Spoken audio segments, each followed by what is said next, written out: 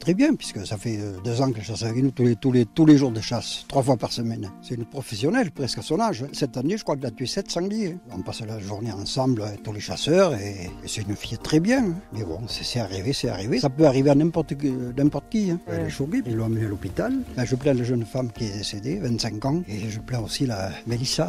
Elle va être marquée à vie. Hein. Mais bon, c'est comme ça. Un accident de chasse, un de plus.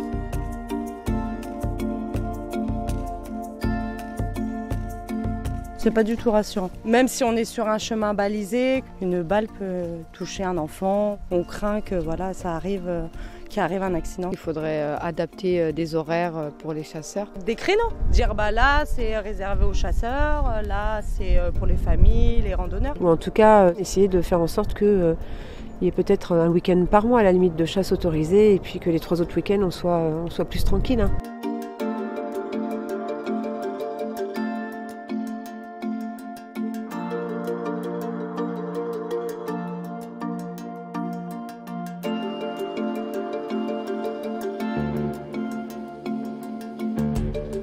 La semaine on travaille donc la chasse c'est impossible la semaine. Il n'y aura pas de chasseurs donc ça veut dire qu'il y aura plus de dégâts dans, les cultures, pour les agriculteurs, pour tout l'environnement, les forêts, tout. Ça c'est pas la solution non plus.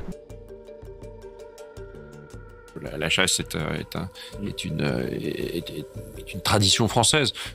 Cet accident, il est dramatique, évidemment dramatique, mais il ne peut pas pousser à des solutions d'interdiction.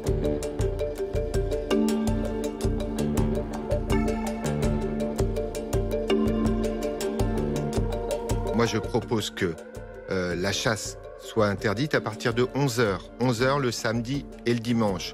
Ça permettra aux chasseurs qui ne peuvent pas chasser en semaine de chasser tôt le matin. Et à partir de 11h, c'est clair et net, c'est pour les randonneurs, euh, les vététistes et toutes celles et tous ceux qui veulent profiter de la nature.